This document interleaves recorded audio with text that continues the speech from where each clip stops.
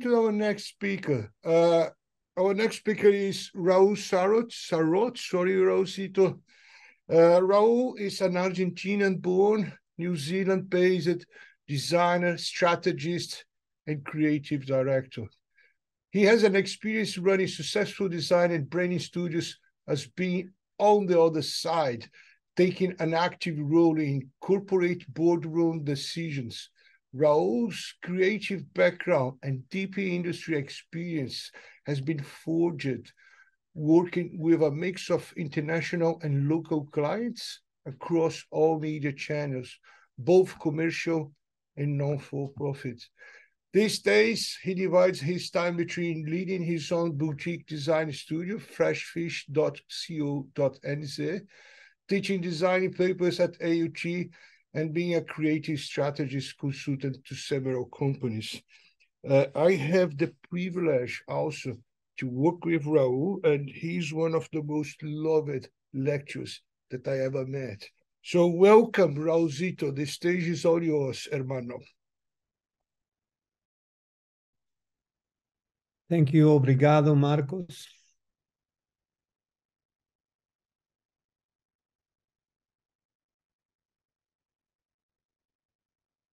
Good everyone. Um, I will set my screen. And I will introduce myself then. Uh, Tiago, would you mind letting me know if uh, we are in full screen there? Not yet. You haven't started shared yet, right? Uh, I hope I did. It's not showing? No, it's not showing yet. Okay. How about now? Yeah, it's coming up now. Yeah, full screen, perfect. This okay. Well, um, we are going to talk about uh, glocal design mindsets, um, and I will introduce the topic and I will introduce myself as we go. So I know we are tied by time, run by the very pre precise Marcus today. So um, within that topic, we're going to talk about challenges and opportunities of creative nomads in local and global ecosystems, and we will uh, unpack um, what I mean by that. So firstly, kia ora, everyone, and hello, hola, and hola. Um, ko andes te maunga, ko parana te awa, ko sarrot toku iwi, ko saviski toku hapu, ko waihi ki no Argentina ho, ko Rahau, ko Mercedes matua, ko Sarrot toku ingoa. Thank you, everyone, and thank you, Marcos and AUT and everyone involved. I understand the the huge enterprise that this is, and uh, Link as a beautiful forum for exchanging and sharing uh, exploration, ideas, uh, aims, and research. Um, so it's really an honor uh, to be part of this. Uh, I think it's my second time or third time, I can remember, as a Link speaker in this fifth edition. That's amazing and i have enjoyed um, listening to you all and learning from you all. So thank you so very much for your mahi uh, all the presenters really different and really rich um, presentations. So thank you uh, a bit about myself. Uh, i'm a designer. Uh, i work as a design coach. I've been working as an art director and a creative director in previous incarnations of my life. Um, I'm a lecturer, as I said, always uh, that's uh, one of my passions, and that's what I do with all my heart. Um, I'm a keynote speaker in innovation, in design, life center design, in design thinking, etc. And I work help companies and enterprises, for profit or non for profit, um, to reach their desire audiences um, in a in using design as a vessel. But um, without further ado, today, today Korero is around those uh, many, many things and, and really is uh, partly sharing uh, my thoughts and my reflections on my work that I have been doing over 30 years in different countries and different design fields.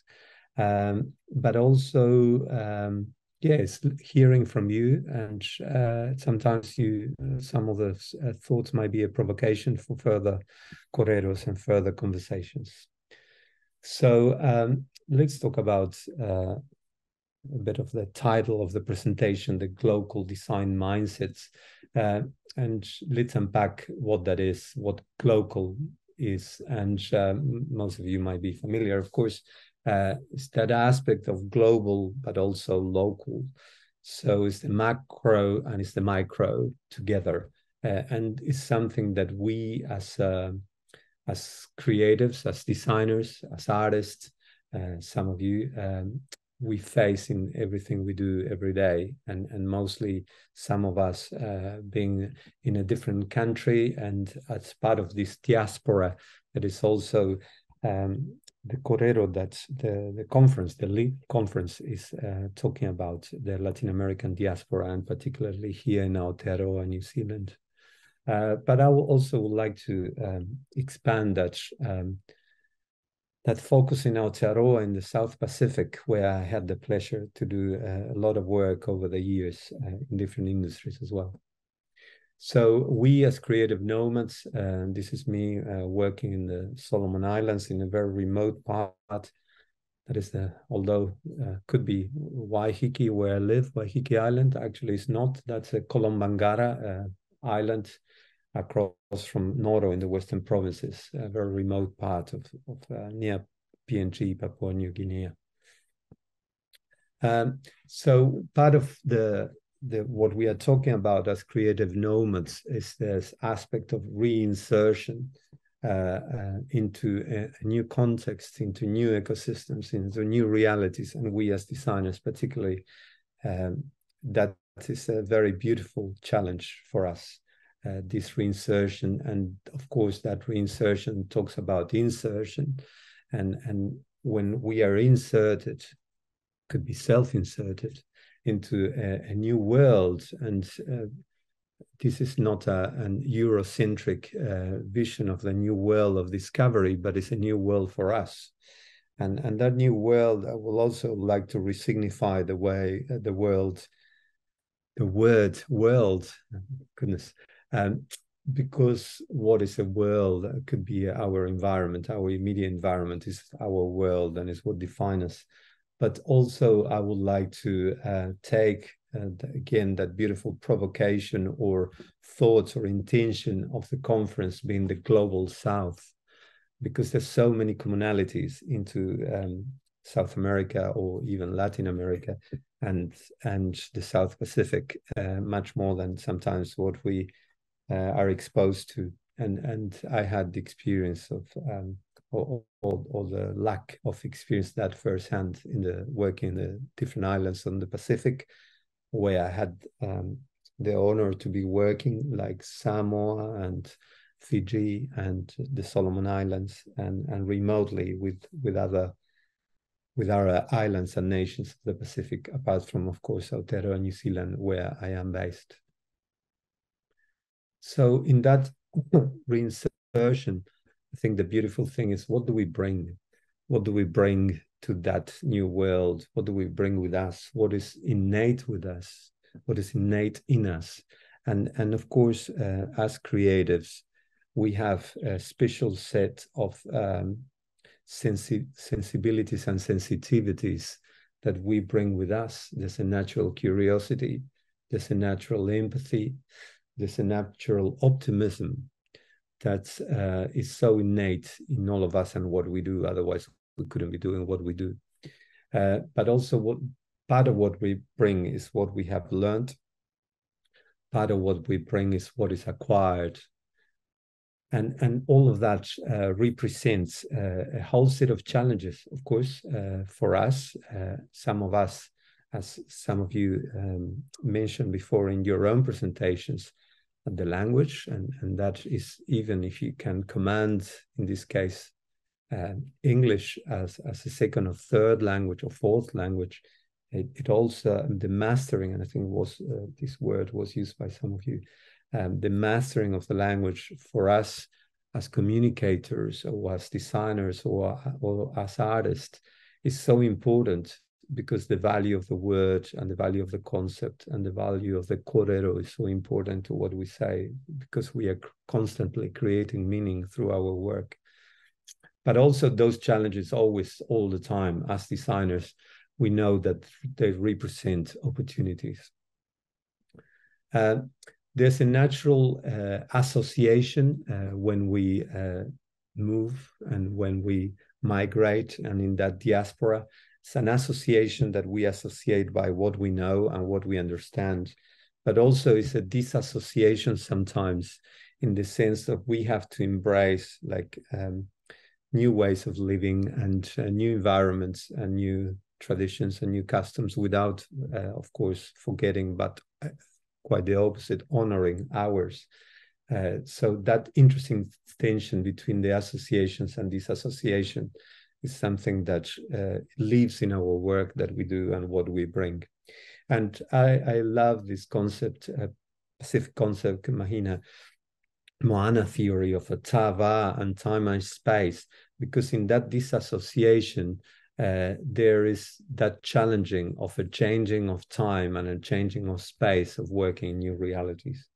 Um, but to do a bit of backcasting uh, to start the presentation, um, I will talk about something that some of you already talked about before, and that's uh, the the beauty and the risk of being the lucky last in, the, in this set of uh, you know speakers that uh, introduce the the whole korero before me, and is the kumara. Of course, uh, some of you already uh, acknowledge um, this, and I was um, part of um, of an event, and uh, a Maori uh, colleague, another artist, um, actually acknowledge uh, that we as South Americans uh, gave the kumara as a gift, as, uh, as, a beautiful gift to Maori, and and for us, of course, some for us might be the batata or batata, right? Uh, that is so familiar to us. And when I came to New Zealand for the first time, uh, some 25 years ago,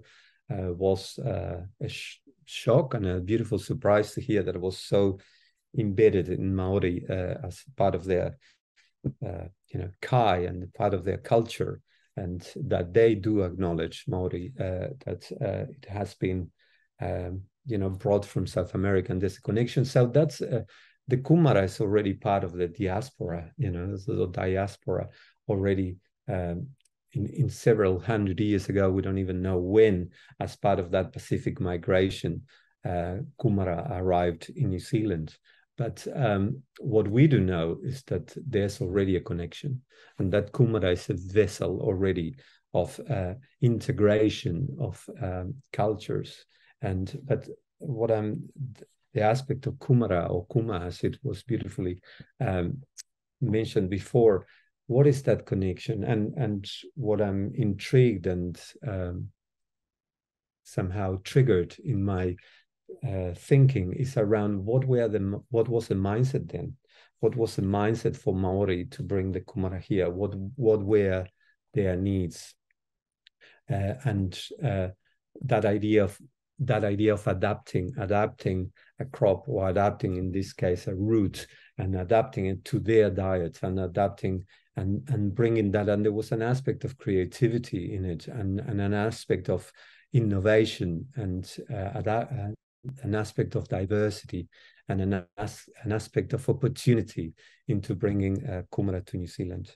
But there's not only the Kumara that we share in common. Uh, I was also by being immersed in Aotearoa, New Zealand, and learning perhaps um, a more colonial aspect that we also share, um, the, which is the the wire. And here in New Zealand, um, the number eight wire, you know, is like we can sort it as a number weight, number eight wire mentality. Um, so in in uh, back in Argentina, where I originally come from, is also the alambre, you know, the atamos con alambre. We put it together with wire, we hold it with wire, and that's a way to to um, work with the limitations of what we have and and buying time sometimes or, or, sorting a solution as a way of innovation So there's more, there's several parallels of different aspects of parallels in between Latin America and the South Pacific and Aotearoa New Zealand. Um, as Bruce Mau says on his 24 principles of design for transforming the world, it's not about the world of design, it's about the design of the world. So uh, I will move on quickly because I have lots of slides to share with you and thoughts. Uh, but how might we, this is uh, how we design thinkers uh, trigger and how designers in general, how might we do this? Uh, so how might we apply an empathy-based design lens to the challenges we face as creative nomads in, in new environments? How might we see the world as an ecosystem? And even if the world the world as a, physically or geographically is more than an ecosystem it's a sum of ecosystems and biomes um, i would like to again reframe that at the end of the day it could be the world around us each one of us and in with each one of our groups or communities. So um, i normally use with permission from the Hundertwasser foundation uh, and here's um, Friedrich uh, Hundertwasser on the right hand side um, whom here in New Zealand uh, it's, uh, it's very um, much loved because he was established here for a while as, as he was an artist, an, an uh, an, an art philosopher. Um, he also uh, donated to New Zealand his version of what he believes is the Koru flag. Um, but also this already speaks about the integration of uh, a global creative uh, into a local environment as his interpretation of it and his um, connection with the environment. But one of the, the, the philosophies or uh, benchmarks that I use for my work to understand empathy and to understand connection with an environment when we are designing, and mostly when we are designing or creating in a new environment, is uh, five skins theory that he wrote in the late 60s, early 70s. Uh, and it's around that we have five skins. And of course, the first skin is our dermis or epidermis.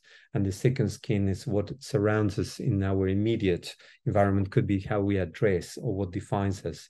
And the third one could be our whare or our house uh, and how that defines us. And the fourth one will be a bit wider and perhaps the identity and the connection with others and the family and the home country and and even the fifth kin will be what defines us as our ecology and the outside world.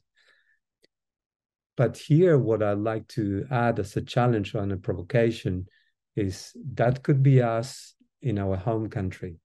But how does that work when we adapt into a new environment and we find people and we find ourselves with another set of perhaps skin tones and another language and another way of dressing and another we live in a different way with different customs. And our family behaves or speaks differently. And we have our own story around our own home country. So how that relationship works and more so in a, such a multicultural uh, environment as it is particularly auckland but also new zealand um, how does that work? We're bringing all those new worlds and new realities uh, and new five skins into the one wider skin, which is the social fabric uh, of New Zealand, particularly these days. Uh, so that, of course, again, brings a whole set of challenges and a whole set of opportunities. But what I'm interested here is in those connections and that empathy-based connection that we as creatives that sensibility and sensitivity that we should have. And I will share very quickly. I know we're running out of time, Marcus, but uh, I will share very quickly uh, my experience working in that very remote um, Western province, uh, a place called Noro, in the very, very uh, close to Papua New Guinea. Uh, where I had the pleasure over the last five or six years to be there around five or six times, working with community in different aspects, uh, some in a commercial based, uh, working on a strategy and branding process project, but also on a community uh, project around telling the story, the, the source of provenance uh, and their community work integrating people from the different provinces and different languages and different cultures within their own nation. Um, so it is that relatability that which it, it embeds uh, this beautiful world of ability to relate. And of course, once you're in the community, you will see scenes that we as South Americans uh, or anywhere in the world could relate to. Um, you know, in this case, where kids and kids having fun, uh, and you are immersed in it. And for us, South Americans, and being, of course, uh, football countries, we can really relate um, to their way of uh, entertaining themselves and having fun. As you can see in this photo, I was like invisible. There were so much in the game that I, I was one of them, and I wasn't playing. Right, I was just taking photos of the community. But um, it's that understanding, and in that understanding, uh, in this case, it's interesting because I was running a design thinking workshop in a far remote, remote port or far remote island in the far remote Pacific. Uh, it's still that idea that, that we have common needs uh, as human beings and we have common desires. And despite the different languages that we might speak, we have a common language because we share a sense of place and a sense of connection, a human connection and connection with nature. And that also open, despite uh, languages and despite uh, different cultures, a sense of belonging to the world and as humans in connection to the world that also as uh, speaks about a sense of identity. And that sense of identity also embeds a beautiful word of entity of who we are and our exploration as human to human connections. Um, as part of their work and, and, this was a photo i took in a kindergarten uh, is that according to what viktor frankl how he defines it is that um, in his logotherapy study, the freedom to will that will lead to the will to find meaning in life. And that connection, of course, I was taking a photo and the kid was taking a photo with his eyes of myself.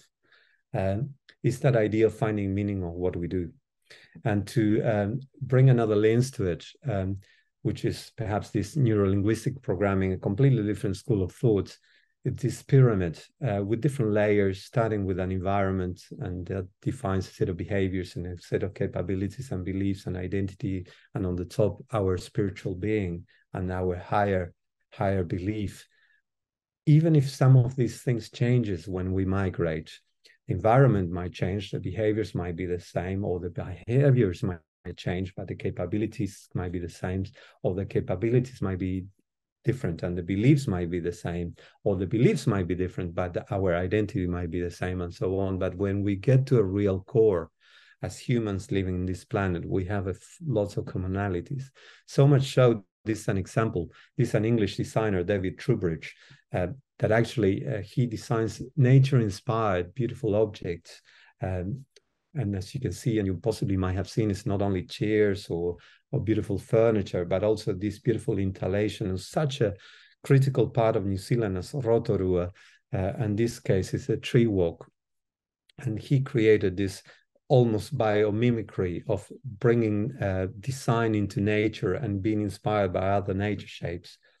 Uh, that also has an aspect of global, that global view into the into the local environment, and also say architects. I mean, this is a quintessential thing in in Kiwi culture, particularly, uh, which is the bach, right? The weekend house or a place to rest or a place to hang out on the weekends and share the bachelor pad, the bach. And, and this is a South African designer uh, or South African company based in New Zealand for a long, long time. And they are the exemplar of designing Kiwi baches uh, with the New Zealand style of architecture, but they're South Africans, which is quite a different but also similar environment. So it's that sense of connecting with the world, understanding the world around us, and design the world globally. As um, Otl Aicher would define it back in his book, uh, the, the world as design as it is in English, but I love the translation in Spanish, which is the world as a project. So it's not about the world of design, but the design of the world. So thank you very much. That is my little uh, token and korero uh, to add to your beautiful korero of link. Thank you, Marcos. Obrigado. Gracias, everyone.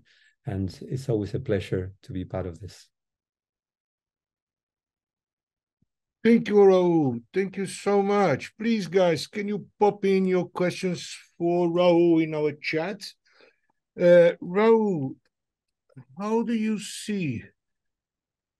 Oh, you, you talk about this internationalization of you know how people migrate different places. They can take their things, they integrate nature to their new places, and all this. It's quite complex thinking. How do you see how technology is affecting this today? Because you you see you we saw in your photographs a lot of uh, Kanohi, presence there, being there, walking there, making physical workshops, meeting people, exchange these experience. How do you see uh, after COVID this change with you know meetings online and technology and things have to be speed up? We have to follow our times. Does it make sense? The question. Yes, that's a very long question, Marcus. Uh, sorry. But uh, to simplify it, I think your question is how technology is affecting this. Um, man and technology has always been hand in hand. Uh, you know, from when we were writing things on, on cave walls, we were painting with what with what we could do, make do.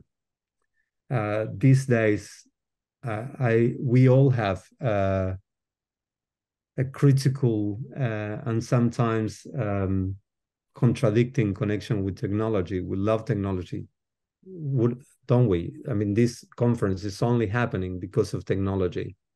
So technology has a beautiful side to it and always had. Technology also has a dangerous side to it. I mean, Maori brought Kumara to New Zealand because of the technology of their wakas. Otherwise, they wouldn't have been able to. Um, so the technology is always bad. I think it's a we have a conflicting as a, as the world progresses and as technology progresses, as an innovation progresses, we have a conflicting ethical relationship with technology, which is a challenge for all of us. I think it's how we manage technology is the the challenge. I don't have an answer for that. I have a. I, I see there's a question from Anelor. Thank you for your Korero, beautiful topic and love it. Quick question: How was it for you to engage with the local communities and being accepted regarding being able to collect material for your work? Um, I think it's a that's an empathy-based, uh, great um, question, Anelor. It's an empathy-based. Of course, there there are ethical aspects, and and you need to ask for permission but there's a natural connection between human beings. Um, for instance, one of the latest projects I did this year was photographing. Actually, um, I don't consider myself a photographer, Marcus, uh, as you know, but uh, I, it's one of my passions and my hobbies since I was like 10 years old with my first Kodak Fiesta. Um, but um, photographing people is something that I never did um, you know for a project but the the challenge was to be in situ and to photograph people uh, from very humble beginnings in a factory for instance uh, from different cultures. So that even if i was in one place people thousand people were there they were speaking different languages and from different cultures within the solomon islands. It's interesting because the first day i went with a beautiful camera with a, with a lens and as soon as i did this people freaked out um, however, uh, then uh, I had my phone with me, and uh, I'm an iPhone photographer because that's what I, I, use every day on my walks. And people are so used back to technology, Marcus. I think this links beautifully. They are so used to technology these days that an iPhone or or a phone wasn't scare, scary for them. Uh, so, and I I wasn't uh, shooting um, kind of hiding the phone, all, all quite the opposite. In some cases, it all started with a selfie with them. And, and that broke the barriers. It's interesting. So that, even within photography, there are aspects of technology that are polarizing or scary, and as- aspect of technology that you find the commonality and the connection. That's on one side. Uh, the other side is we forget that what breaks the barriers to uh, with with any other human being is uh, a genuine smile and a genuine connection and a, and and that relatability that I was talking about in my slides. So if I grew up, for instance, seeing kids play bare feet football in a grass field, I will very naturally be there as one of them. If I wouldn't have, possibly I would have been really an alien. Yeah. Uh, if I grew up uh, collecting water from the roof. Now I live on Waiheke, and that's an everyday thing for me because I, I drink the water I collect from my roof. So where we come from, and and that's what I mean. What we bring as innate things, so things we learned in our aspect, really brings empathy-based doors to connecting with different audiences. That's a long answer, and Laura, I don't know if that makes sense. That was lovely. Thank you, Home. Thank you so much. It was lovely presentation. Yeah, thank, thank you. Yoraro, thank you so much. I was always really impressed by your thinking, and that's why we asked you to close link. We're very pleased to have your thinking shared with us. Thank you so much, Raul. Prazer. Uh, Thank okay. you, Robert, for hosting this. Uh, much appreciate your manner, uh, you know, leading all of this and and and receiving us in your land. Kia Raul. That's right. So before I pass the word for our Matua to conclude our work in here, I just want to uh, make a couple of acknowledgements here before we close. So as we bring the fifth edition of Link to a close, I would like to extend my gratitude for some people that was very important for this conference. And firstly, a huge thank you for all our speakers. Your dedication to share your research and insights have been invaluable. Professor Wellings once said to me, the true scholar is marked by one thing, and this thing is generosity. I think your contributions have truly embodied uh, Professor Wings talk about generosity. So thank you all. I know we are in such a busy times here for all we work in education. We are over and over uh, and, and to make time to prepare this presentation for this very busy time is a huge thing. I know, I acknowledge that, and I want to thank you all from the deep of our heart for your contribution here. We would like to make a special appreciation to the our organizing team from Galo, Agência Galo in Brazil, and I would like to thank you, Tiago, Thales, Lais, Mariana, and all the Galo team that works behind the scenes. Our great translators, Natalia and Cristiano, for making very smooth the understanding between these two universe and these two languages, making a true universal understanding of what we are exchanging here. Thank you very much. Thank you for Link's producer, Janete Rodrigues, and our research assistant, Chenying Lee. And our, our acknowledgement for our loved Gary Tathan, which he always supported us with accountability issues and everything. Our love for you, Gary. We are also thank you for our great partner, Education New Zealand, in the figure of Bruna Natali. And at the time that you were also planning Link, our dearest Ana Azevedo. Thank you, Education New Zealand, for your support, for always being with us in this journey of link. Uh, it's important to acknowledge something I was thinking here. I didn't talk about that. So living in diaspora, like we all, the speakers, do live in diaspora. Don't worry, Herbert, you are coming. Uh, it's something very challenging. It's difficult to be away from home. And I think in some way, many of us that have families overseas, families in Latin America, we miss them very dearly every day. So I would like to send our love and uh, in, in, in acknowledgement for all the speakers' family back in Latin America overseas. Uh, from all of us presenting here, I want to say that uh, having you guys somewhere in Chile, Argentina, Brazil, Colombia is what feeds us. So receive all our love from Aotearoa for your sons living here away from the family. And wouldn't be different with my own family, and I will still a little bit the same. To thank you, my family, for the support on these years of the event. Mamãe Ilza, Jaqueline, Iracema, Fred, Paulo, Cícero, Deusa, Renata, and Stella. Uh, of course, my gorgeous wife, Janete Rodrigues also. You, your love and support, it's what makes us this very special. A very a quick story. This morning, my mom sent a very, very small message on the phone. Look, I'm watching the presentations. Please do not eat sandwich in front of the camera. And I said, okay. so, love para você, mamãe.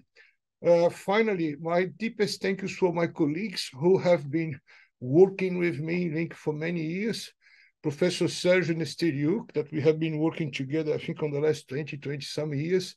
Thank you for your partnership and friendship, Sergio, and for our deep conversations over Gara's time. Because for some reason, Sergio is a man who never sleeps and he walks with his dog in the middle of the night. So usually he talks to me at one o'clock in the morning, two o'clock in the morning when he goes to walk with his dog, which is something quite interesting. Uh, so thank you, Sergio. And of course, I want to give a very special and warm acknowledgement for my Kaumatua, a mentor friend, Dr. Robert Pulford, uh, your mentorship and guide on these uh, years of New Zealand, making such an easy and smooth understanding of this different world that we navigate, supporting Link, being here every day, and having the flag of Brazil behind you. It's just so special for us. Our biggest love, Robert. Your charm make Link very different uh, than you. I'm looking forward for Link next year. We have great plans to take Link to South America to make an edition in South America. We want to bring Robert and everybody down uh, to South America and hopefully be closer to our families on the next year. So I hope to count on all of you on the next year. Uh, muito obrigado a todos. Gracias. Tena koutou, tena koutou, tena tatou, katoa. Robert, the word is yours. We can't hear Rob. You are in mute. I was coughing.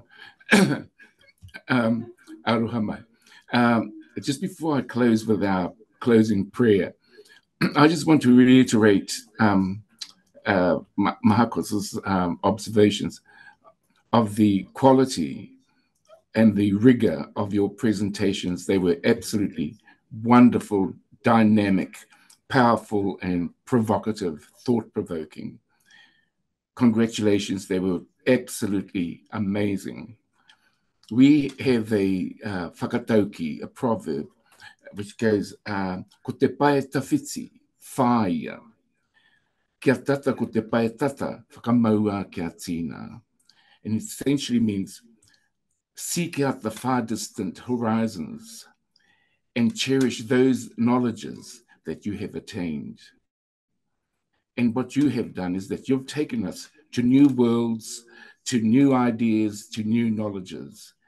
And we thank you very much. We are now seeking the far distant horizon, and you're bringing that knowledge and bringing the world to us in Aotearoa, New Zealand. And for that, we thank you. uh, our prayer is going to reiterate the opening prayers from yesterday, and that is to invoke our gods uh, to conspire to end all hostilities and wars around the world and to stop the killing of innocent babies, children, women, men uh, in these hostilities and these wars. So I hope that these wars do not come to our parts of the world and that you remain safe and look after each other. We have also a word, a concept, mate mate aone, and that is to love each other and to and to look after each other and to nurture each other. So on that we'll have our karakia. kia whakairia te mauri kirunga, kia whakairia te tapu kirunga. Kia wā te ateara ke mākuha koha te wairua. Tūruki whakataha, tūruki whakataha. Mauri tū, mauri tau, mauri ora kia tātou katoa. Whano, whano, hara mai te toki, haumi e, hui e, tai ki e.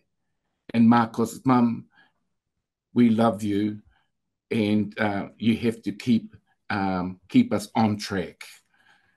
Love everybody uh, in South America, Latin America.